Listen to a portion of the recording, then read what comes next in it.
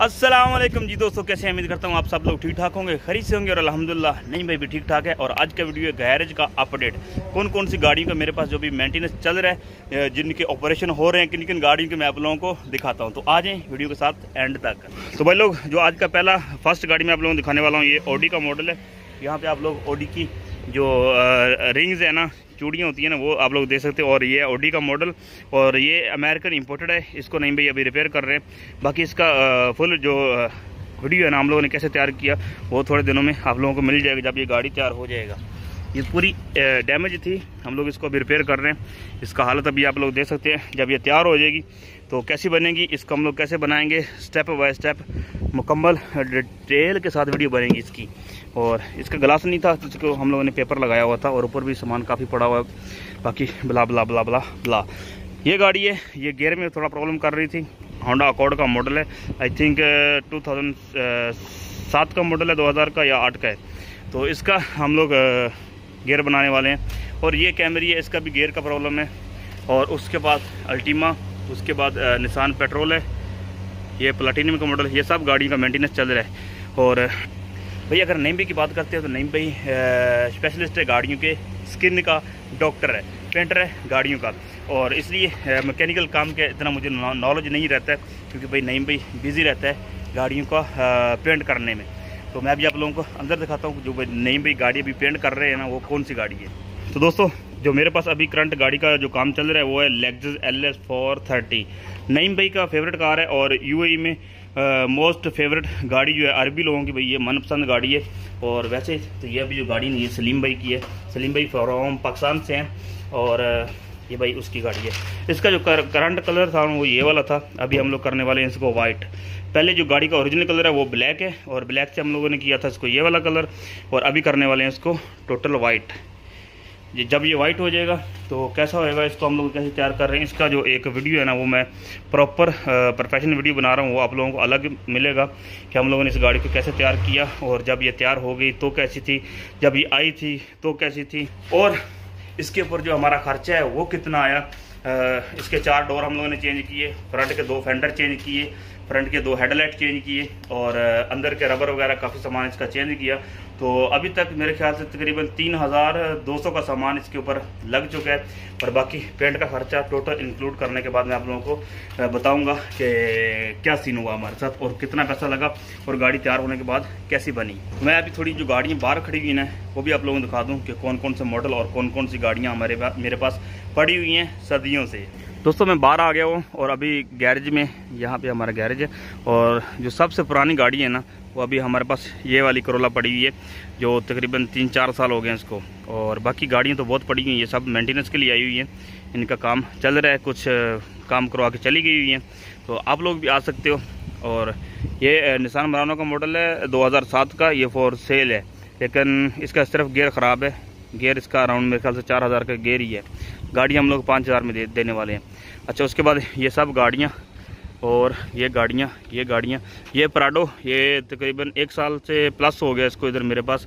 ये भी पेंट के लिए आया था तो अभी अल्हम्दुलिल्लाह इसको पेंट कर दिया हुआ है। इसका वीडियो वो भी आप लोगों को मिलेगा मेरे चैनल के ऊपर। और ये वाला अगर राफोर का बात करते हैं तो राफोर भी हम लोगों ने दो हज़ार आई थिंक बीस में बनाया था।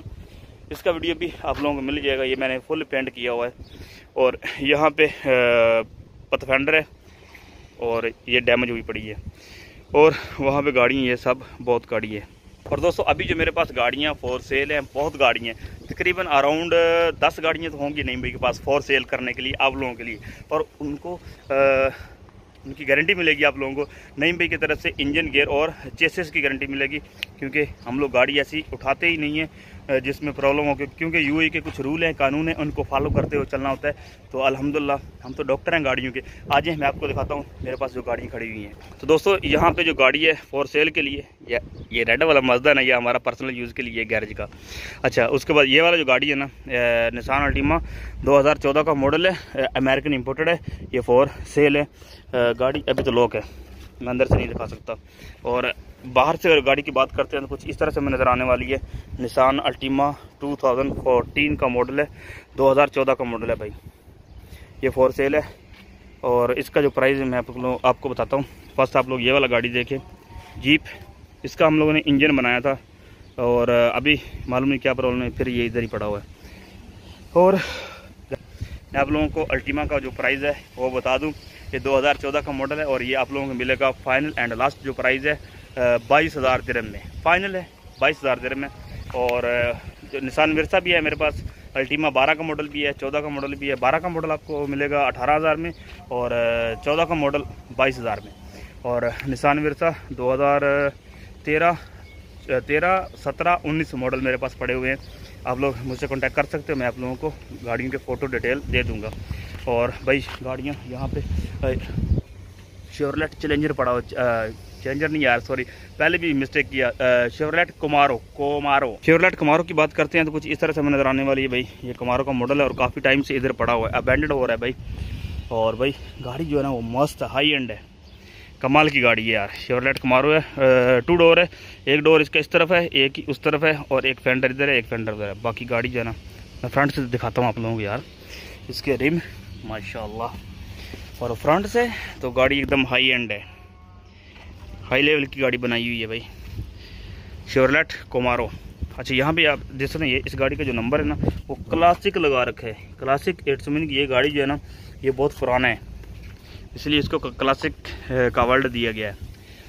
और अभी गर्मी बहुत हो रहा है तो नहीं मिल जाएगा अंदर।